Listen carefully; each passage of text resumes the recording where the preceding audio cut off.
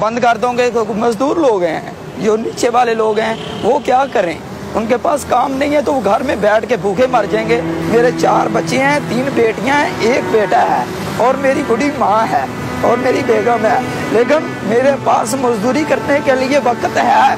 दिन रात मेरी कोशिश है, मुझे काम मिल जाए। मजदूरी करने में मेरे में जज्बा है, ताकत है, दिमाग है, सब कुछ है, लेकिन काम नहीं है। कोई काम करवाने पर राज़ी नहीं है। किस लिए? ऐसा खुदा का अजाब आ गया खुदा के लिए। खुदा के लिए खुदा से डरो और रहम करो। मुश्किल की इस घड़ी में खुद से आगे बढ़े।